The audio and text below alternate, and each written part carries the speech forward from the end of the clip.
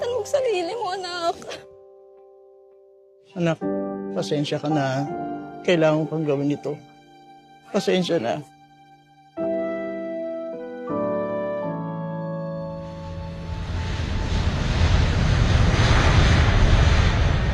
Hello, family! Andito na ako sa Hong Kong. Ang ganda-ganda po pala dito. Alam niyo po, sobrang okay na okay po yung mga amo ko dito. Mababait po sila sa akin. Nay, tay, huwag na kayong mag-alala dito sa akin. Okay na okay po ako dito.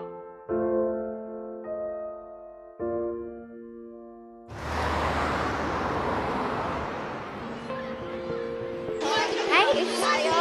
Pamagod. Ah, Kain naman tayo sa Socialing Resto kahit ngayon lang. Oo nga no, kasi ang tagal na natin dito. Pero itlog na lang yung kinakain natin. Uy, grabe ka naman, hindi naman. May nilagang din saging din, no? O seryoso na, ano, tara, tara, para, para may ba naman yung linggo natin, di ba? Okay lang sa akin. Okay lang din sa akin. Sa'yo, Elsa, okay lang ba? Ah, hindi na muna. Pas na muna ako. Ay, ka lang pas eh. Sige na, yun lang naman to. Oo nga naman, Elsa. Minsan lang. Hindi naman siguro malaking kabawasan si Papa dala mong pera, di ba? Hindi naman sa ganun. Pero okay lang naman ako dito. Kayo na lang muna. Ako na lang magbabantay nitong pwesto natin. Sige na, go na kayo. Tsaka, wala kasi ako sa mood kumain sa mga mamahaling restaurant ngayon. Sincere to. Okay ka lang talaga, no? Oo, sige na. Kayo na pumunta doon. Sige na. Siya, sigurado ka, ha? Babalikan ka namin para magkachika-chikahan tayo. Sige. Sige. Sige.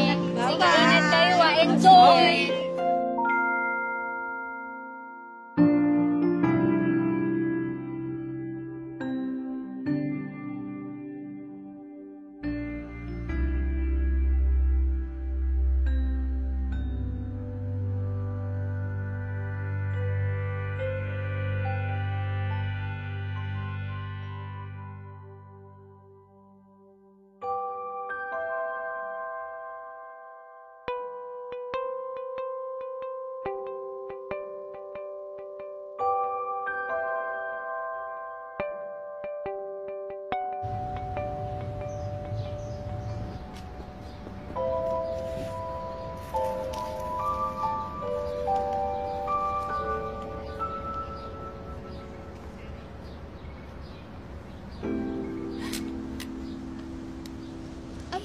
Miso?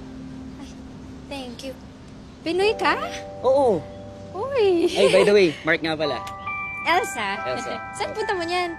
Sa Grapas? Di ko alam kung saan yun eh. Ah, eh dyan lang yun oh, sa may unahan. Gusto mo samahan kita? Pwede naman. Kaya lang, baka maabala pa kita, baka may gagawin ka pa iba. Hindi, okay lang. Wala naman akong gagawin, no? Tara! Sige, tara. Mukhang bagong salta ka lang dito sa Hong Kong, ah. Di naman. Pero dito sa Central, first time ko talaga. Actually, nandito lang talaga ako dahil may attendan akong event. Pero sa Macau talaga ako nag-work.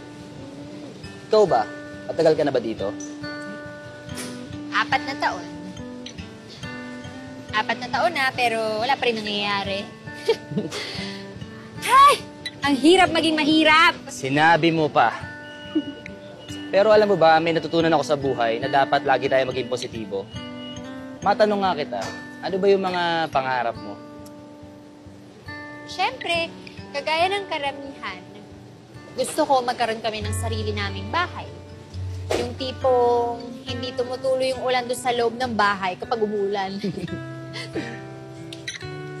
gusto ko, yung bahay namin, yung malaking malaki. Yung tipong hindi na kami magkakakitaan ng mga kamag-anak ko sa loob sa sobrang laki. Gusto ko ng magandang magandang sasakyan, yung makakapasyal kami ng mga kapatid ko kahit saan namin gusto pumunta. Road trip, road trip ba? Pero, seryoso, ang gusto ko lang naman, yung magandang buhay para sa amin ng pamilya ko, yung maginhawa. Yung tipong, Wait lang. Ang dami mo palang gusto. May oras ka ba ngayon? Huh? Tara, kape tayo.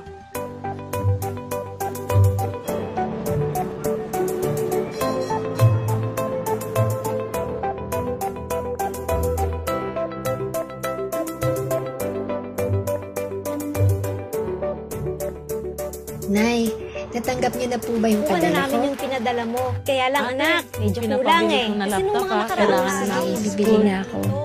Sige, dadagdagan ko na lang po, Nay. Anak, kaya pa ba?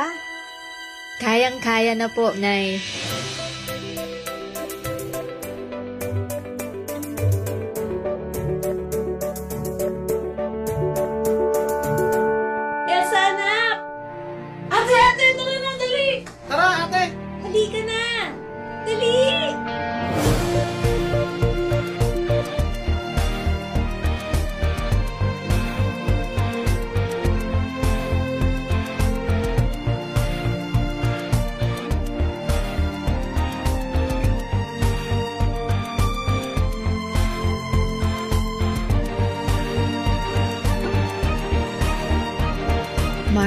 Salamat. Buti na lang niyaya mo akong magkape.